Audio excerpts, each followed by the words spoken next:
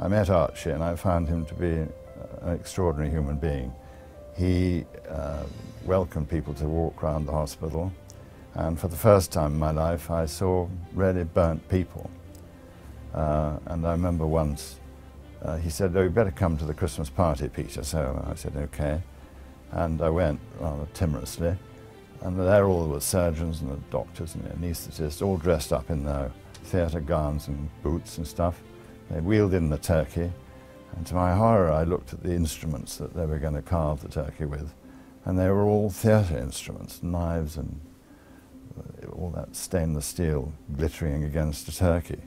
So that was his sort of black humour. And then, of course, he founded the guinea pigs. And the guinea pigs were his group of patients, something like 640 at the peak. People had been through East Grinstead.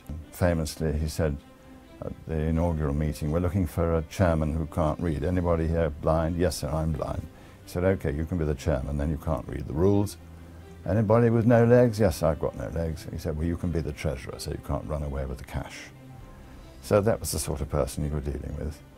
Huge spirit, no nonsense. Uh, he changed the whole attitude, the rather stiff medical culture that existed at the time.